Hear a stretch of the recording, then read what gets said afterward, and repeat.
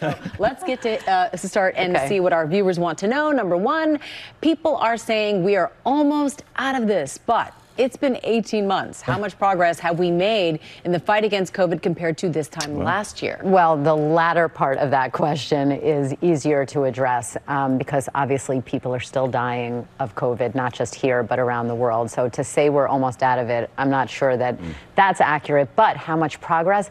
Massive amount across the board.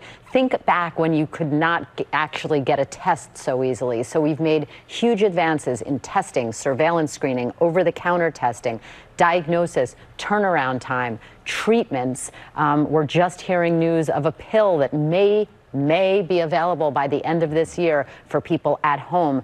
Vaccination, clinical management of patients severely ill with COVID 19 in the hospital. So we've made a lot of progress, but there is always room for more improvement, that's for sure. All right, another question here, non-COVID related, but what vitamins should people be taking every day? It's kind of, it's kind of a wide-ranging Oh, question. you're gonna get the expensive fee answer? Yes, well, we, we will get the expensive urine answer. However, um, look, this is a, a situation that I have evolved on since I graduated from medical school 21 years ago.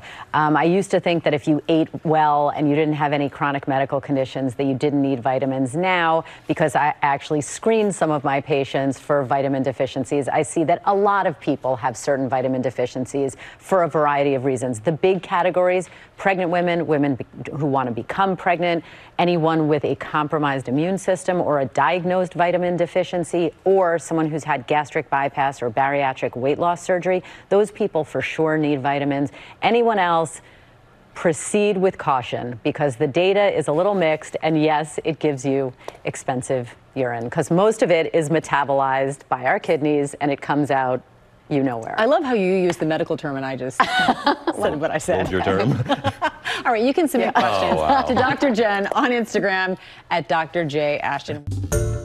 There, GMA fans. Robin Roberts here. Thanks for checking out our YouTube channel. Lots of great stuff here. So go on, click the subscribe button right over right over here to get more of awesome videos and content from GMA every day, anytime.